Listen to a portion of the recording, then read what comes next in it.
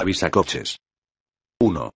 M. Persona que, mediante una gratificación, se encarga de avisar al conductor de un automóvil estacionado cuando el dueño o el ocupante lo requiere.